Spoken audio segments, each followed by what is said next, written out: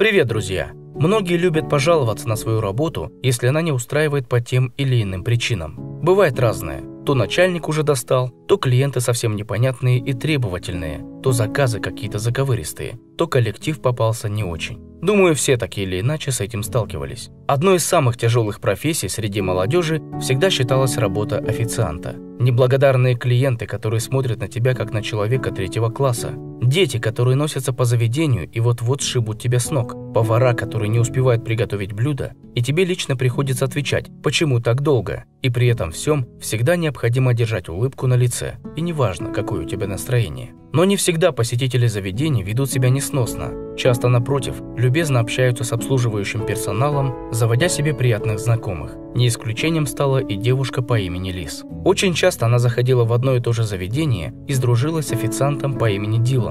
Мне просто нравится здешняя атмосфера. Так спокойно, уютно, словно вернулась домой. И все свои, родные. После работы здесь прятаться самое то. Тебя обогреют, накормят, еще и чем-то сладким угостят. Когда Лис в очередной раз пришла в заведение, то ничего не предвещало необычного. По привычке девушка села за свой столик, заказала кофе и только собиралась погрузиться в чтение, как ее внимание привлек один пожилой человек, который присел неподалеку. Официант почему-то присел перед ним на одно колено, чтобы, глядя ему в глаза, принять заказ. Как позже выяснилось, этот мужчина был ветераном Второй мировой войны, и ему только недавно исполнился 91 год. Так же, как оказалось, он забыл слуховой аппарат и слышит с трудом, поэтому Дилану приходилось разговаривать громче обычного, чтобы столь солидный посетитель его услышал. Официант помог ветерану разобраться с меню, посоветовал, что выбрать. После того, как заказ был принесен, Дилан попросил разрешения присесть рядом. «Все мои друзья погибли, и мне элементарно не с кем поговорить», – с грустью рассказал ветеран. «Я живу совсем один, каждое утро я просыпаюсь и смотрю в зеркало.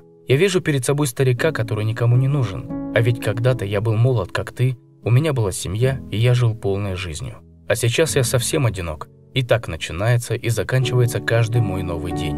Было видно, что дедушка тронут вниманием официанта, и ему просто хотелось с кем-то поговорить. Он рассказывал ему свои истории из жизни, вспоминал лучшие моменты и иногда потирал слезы на щеках. Для него это был тот момент, когда он понимал, что живет. Никто даже не заметил, что в заведении стало максимально тихо. Все хотели услышать моменты из прошлого этого человека, который видел, как создается история.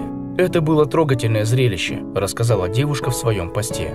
Люди сидели и слушали старика. Было видно по лицам, что после его слов многие задумались. Девушка хотела заплатить за обед пожилого мужчины, но прежде чем она успела сказать об этом Дилану, сидящий за соседним столом человек попросил принести ему счет ветерана. Также она добавила, приятно осознавать, что мир не безразличных людей. Но дальнейшие события еще больше поразили Лис. Она увидела, как кто-то из посетителей подошел к администратору и попросил его об услуге. Если этот пожилой джентльмен захочет здесь еще раз что-то заказать, то счет выписывать лично на него. Я хочу хоть так его отблагодарить за все, что он сделал.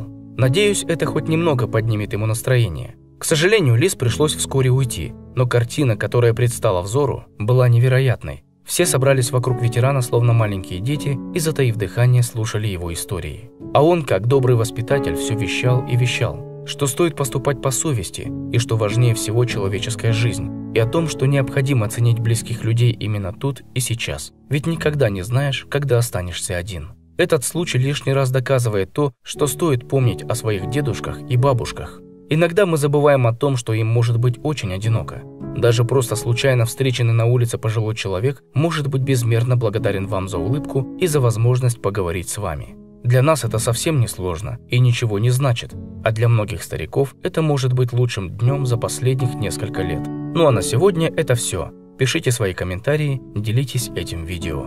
До скорого!